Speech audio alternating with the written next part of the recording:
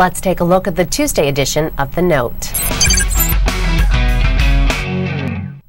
ABC's Sunlen Miller is in Washington and joins me now with details. How are you, Sunlen? Hi, good, Meg. How are you? Fine, thanks. So, what is the president's goal for this particular town meeting in New Hampshire today? Well, this is President Obama's first trip back to New Hampshire since becoming president, and today he'll talk about the economy and how it relates to healthcare. Of course, as you know in that setup piece by John Berman, these health healthcare town halls have become a little rowdy. This is his first town hall on healthcare since that those outbursts across the nation. So, of course, his message might not be as important about what we see from the audience in, during the Q&A session. So, certainly all eyes will be on that and how the interaction is with audience members.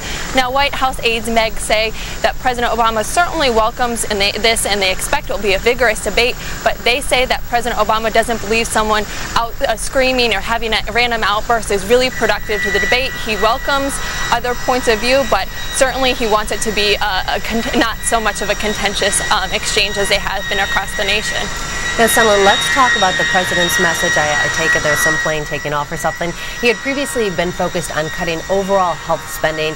Now he plans to stress ways they'll fix certain areas. Fill us in on all of that. Well, we don't expect today, Meg, for there to be any new policy announcements or any uh, specifics about the health care plan. As you know, that Congress is out for August recess, so all these congressmen and women are across the country. They'll be pushing for the plan, but really there isn't a specific uh, legislation that's going to be written up. We saw President Obama in Mexico over the weekend saying once they reach the fall, they can talk about specific measures um, and people can have a substantive conversation about the specifics in the legislation, but he'll talk about, you know, the overall health of the economy economy and how that relates to healthcare. And he is going to head out west. There are more town hall meetings scheduled. Where does he go next? Well, President Obama this weekend will head out west. Um, he'll be he'll be traveling with his family. It's a little family vacation of sorts. They'll be traveling to the Grand Canyon in Yellowstone. They'll be celebrating the free National Park weekend this weekend. So likely no health care on the agenda this week, but White House aides said to expect a couple more town halls before President Obama and his family go on another vacation to Martha's Vineyard later in the month. So certainly they're trying to um, control the dialogue a little bit in the last uh, weeks in August as um, those congressmen and women are headed out into their districts. Okay, and let's shift gears to the president's trip to Mexico. You were there. Can you give us an overall wrap up of uh, the Three Amigos Summit, as it was called?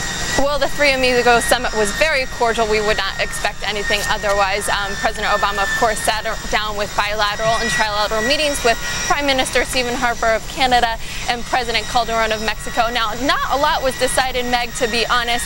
Um, they worked on climate change issues, issue of drug cartel, um, cartels, of course, environmental issues and the global economy, but there was not much agreement on the issue of trucking. This was discussed in their meeting, and we saw during a press avail on Monday that um, there hasn't been any agreement on how they'll come to a remedy on that situation between Mexico and the United States. The White House says that this issue has to be worked out in Congress. And finally, Sunlen, has there been any comment from the White House on the passing of Eunice Kennedy Shriver?